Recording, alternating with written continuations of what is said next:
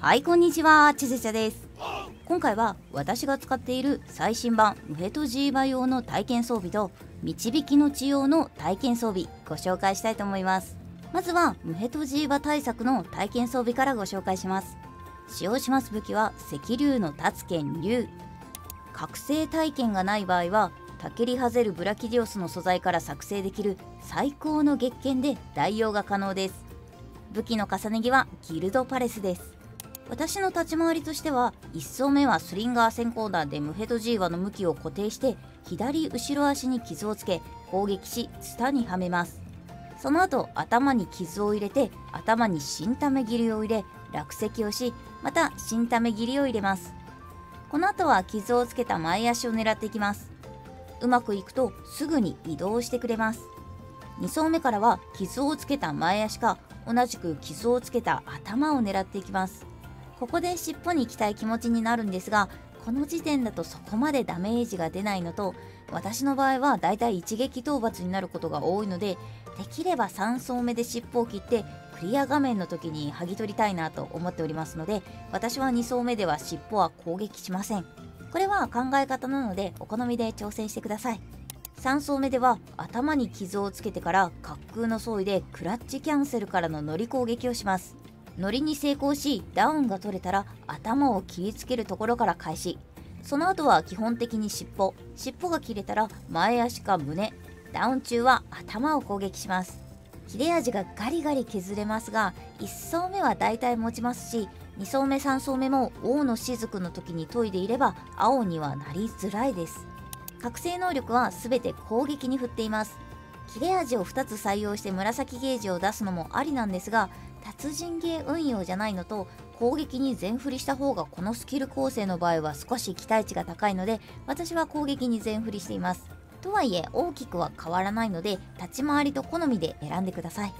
装備は不動の装備と滑空の装備にしています。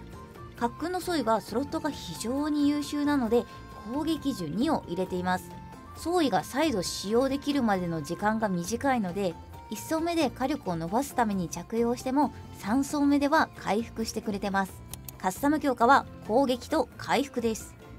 体験は回復能力付与は非常に相性はいいんですが納刀する機会も多い武器なので1回でいいかなと思って私は1回にしました。ただこの構成フルチャージも採用しているので回復カスタム2回にするのも全然ありです。シリーズスキルで根性が発動しています。このスキルはハンターの体力が64以上の場合力尽きるほどの大ダメージを食らっても1回限り体力が1残るというスキルです。うっかり大ダメージを食らってもこのスキルのおかげで生き残れたりします。とはいえムヘトジーワは多段攻撃も多いので油断は禁物です。会心率は元の会心率が5%攻撃レベル4で5%見切りレベル7で40%弱点特攻レベル3で傷がついた弱点部位に対して50%なので100%の確率で会心攻撃が発動します。超会心レベル3のおかげで会心攻撃発動時物理ダメージが通常1.25倍になるところ1.4倍に引き上げています。破壊王レベル3を採用しているのでムヘトジーバの V 破壊をしやすいです。また集中レベル3で貯める速度を速めています。納刀機会が多い体験は回復をしやすいのでフルチャージとは相性が非常にいいです。このフルチャージを意識していればシリーズスキルの根性もかなり有用になってきますよね。流風力強化で流風を中から大に上げムヘトジーバのエネルギーを削りやすくしています。この流風力のスキルはタケリハゼルブラキディオスの素材から作成できる最高の月剣を使う場合は外していただいて他のお好きなスキルに変えてください。装飾品です。そこまでレアな装飾品は使っておりませんが足りない場合は超会心カゴ整備を抜いて調整してください。それでも足りないという場合は見切りを下げても構いません。また装備の装飾品に関しては自由です。攻撃順には私は当てはめておりますが全然必要はありません。重ね着です。基本的にウーロンですね。ただこのマムガイラコイルベータの腰は透け感があっておしゃれで好きなのでそのまま採用してます。続きまして導きの血用の不屈体験装備です。これはライブ中に視聴者さんと相談しながら組みました。要求する装飾品のレア度は高いんですがその分火力が高く不屈が発動している状態ではありますが傷ついたイベルカーナの頭に1900ダメージを叩き出せちゃうので私は結構気に入ってます。使用します体験は赤竜の立つ剣爆破です。この体験がない場合は先ほどと同じくタケリハゼルブラキディウスの素材から作成できる最高の月剣で代用が可能です。武器の重ね着はギルドパレスです。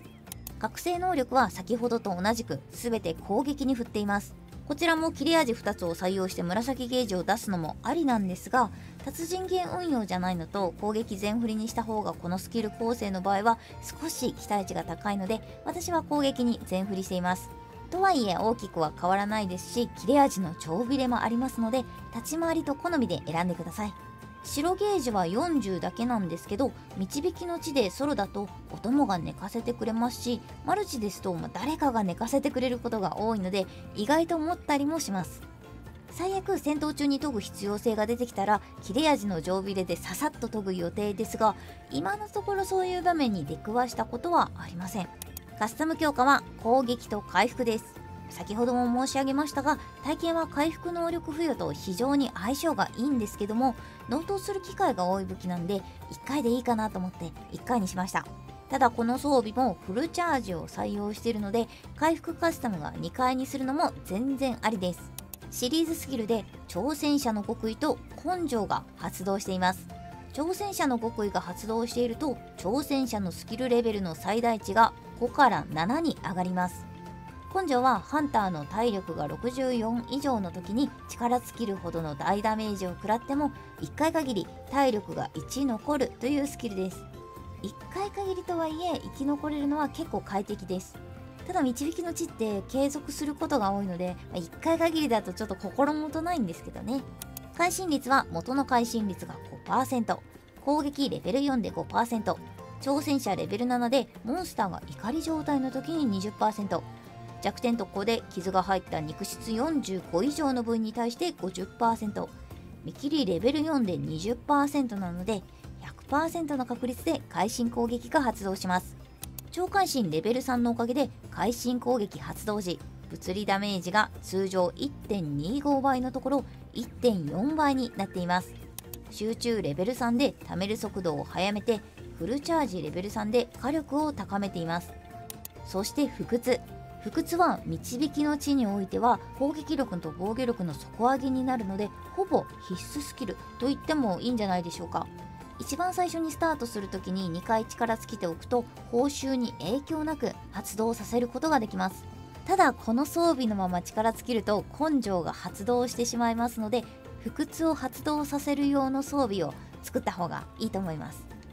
ちなみに私はこのムヘと一式にヘビーボウガンつけて機関榴弾を撃つことで発動させています。注意したい点としては不屈を発動させる装備に関しても必ず不屈のスキルを入れておかないと発動がしないという点です。不屈付き装備から不屈付き装備に交換しないと途中で不屈がなくなっちゃうんですよね。スリンガー装填数アップはぶっ飛ばした後に手元にスリンガーが残るので強化打ちをする体験とは非常に相性がいいです。そして整備。これは実は自由枠なので地質学に変えることができます。導きの地で地質学をつけていくと落とし物が増えるという現象があるんですが一応公式回答でバグ扱いになっているので私はずっと使ってません。ただ公式回答として利用してもペナルティは特にないとのことなんで皆さんが使う分に関しては各々の判断でご自由にしてください。装飾品です。この装飾品の要求レベルは高いですよね。攻撃スキルに関してはレベル4あれば十分なので挑戦2と攻撃2が入っているところに挑戦整備などを入れていただくといいんじゃないかなと思います。それでも足りないという方は超会心と達人を外して調整していただければと思います。これも好みなんですが集中とスリンガー装填スアップぐらいかなと思います。なのであとは火力に関わる部分だけですのでレア装飾品がなくても自由に運用することが可能です。重ね着です。全体的にマムに系統させています。陽動の耳飾りいいですよね。ということで今回はムヘト G バ用の体験装備と導きの治療の体験装備ご紹介させていただきました。最後までご視聴誠にありがとうございます。また装備が更新しましたら動画でご紹介させてください。励みになりますのでチャンネルの登録と高評価ボタンのポチをよろしくお願いします。またね